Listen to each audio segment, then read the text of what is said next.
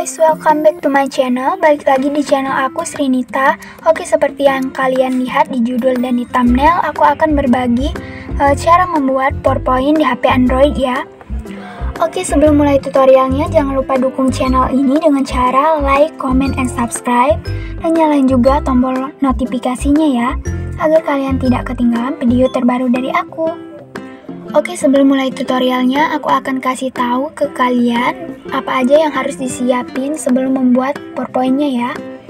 Jadi di sini yang pertama aku siapin uh, Google Chrome, terus yang kedua aplikasi WPS Office. Nah, untuk WPS Office ini kalian bisa langsung download di Play Store ya. Oke, so langsung aja kita mulai tutorialnya. Oke, yang pertama kalian langsung aja buka Google Chrome. Nah, di bagian pencarian ini kalian cari Slice Go. Terus pilih yang bagian atas ini ya, yang di atas ini. Kalian langsung pencet aja. Kemudian di bagian atas yang ini, kalian pilih gabung. Langsung aja kalian pencet. Terus kalian hubungkan akun mana yang akan kalian pakai. Di sini aku pilih Google. langsung aja kalian pilih email Langsung aja kalian pilih akun yang akan kalian gunain. Tunggu prosesnya selesai. Nah, jika kalian udah login akunnya, terus di bagian ini kalian centang semua ya. Nah, jika udah selesai, kalian klik kirim. Nah, jika kalian udah login, jadi di bagian atas ini otomatis ada foto akun Google kalian ya. Oke, langsung aja kalian scroll ke bawah. Di sini banyak banget pilihannya. Kalian langsung pilih aja. Di sini ada juga yang gratis dan ada juga yang premium ya. Aku pilih yang gratis aja. Kalau yang premium seperti ini ya tampilannya ada uh, ada bacaan, ada mahkota kayak gini aja kita pilih. Di sini aku coba lihat lainnya. Terus aku scroll ke bawah. Kalian pilih aja yang menurut kalian cocok. Di sini aku masih pilih-pilih ya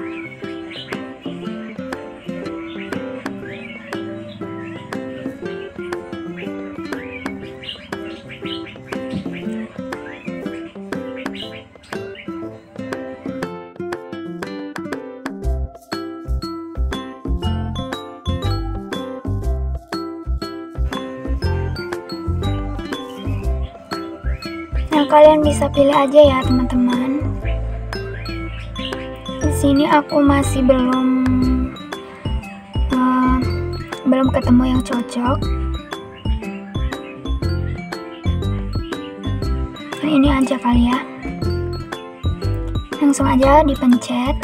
Terus uh, di bagian bawah sini pilih Google Slides. Langsung aja dipencet. Tunggu klik download. Tunggu proses downloadnya selesai. Nah ini udah selesai ya. Nah, kemudian pilih di bagian titik tiga sini. Kalian pilih bagian download ya. Klik download. Terus pilih file yang udah kalian download tadi. Yang atas sini ya misalnya. Terus kalian pencet Nah, di sini ada pilihan, langsung aja kalian pilih WPS Office. Tunggu prosesnya selesai. Nah, jadi dia otomatis masuk ke aplikasi WPS Office ya. Di bagian atas ini kalian pilih edit. Nah, di sini banyak banget template-nya ya.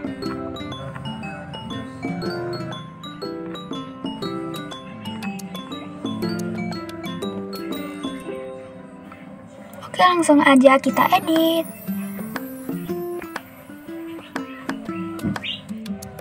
Untuk ininya bisa kalian ubah sesuai dengan judul presentasi kalian. Hapus aja ya.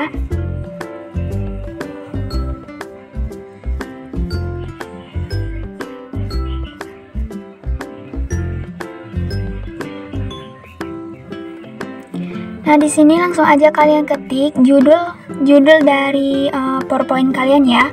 Misalnya materinya tentang apa gitu. Jadi kalian langsung klik aja, kalian ketik aja di sini sesuai dengan materi kalian. Nah, di sini sebagai contoh aku ketik judulnya produksi massal. Terus kalian bisa langsung edit teksnya ya. Oke, sebelumnya kalian blok dulu. Nah, di sini kalian bisa langsung pilih jenis teksnya.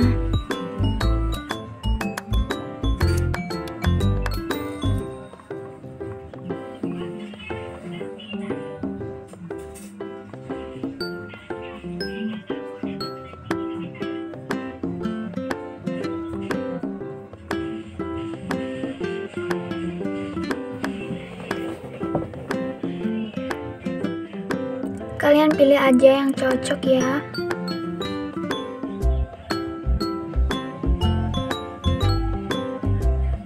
Di sini misalnya aku pilih yang yang ini.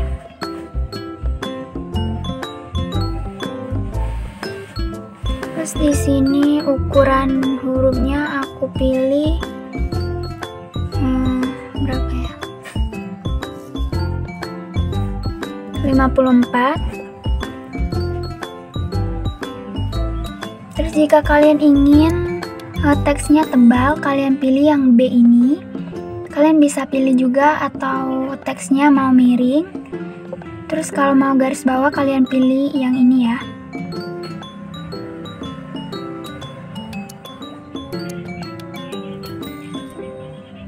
Oke, selanjutnya di sini bisa kalian ketik nama kalian ya.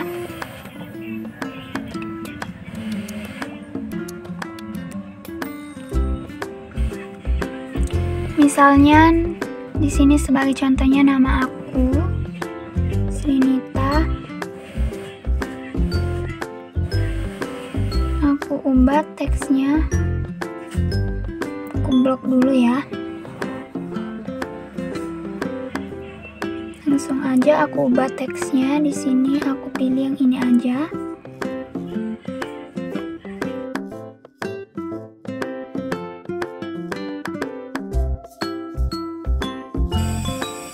Ini bisa-bisa kalian ya. Uh, aturnya kalian atur sekreatif mungkin. Untuk yang di bagian ini kalian bisa isi materi kalian. Terus yang ini juga ini dan seterusnya sampai habis. Nah jika ada beberapa yang kalian tidak suka misalnya uh, yang ini ya kalian bisa hapus saja. Kalian kalian tekan, terus pilih hapus. Jadi dia otomatis terhapus. Oke, mungkin itu saja tutorial dari aku. Semoga bermanfaat ya.